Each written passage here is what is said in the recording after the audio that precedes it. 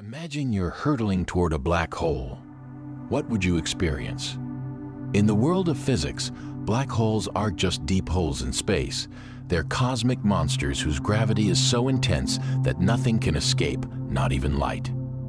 As you approach the event horizon, the point of no return time slows for you, but from an outside observer's view, you stretch and fade into a red blur. This effect is called spaghettification. Inside, the gravitational pull warps space and time so severely that your concept of direction dissolves. Some theories suggest you would compress into a singularity, an infinitely small point of mass and infinite density. But here's the twist. Modern physics doesn't yet have the full answer. The laws of general relativity and quantum mechanics clash here. Some scientists believe you might be crushed. Others imagine a tunnel to another universe, a wormhole, but that's speculative.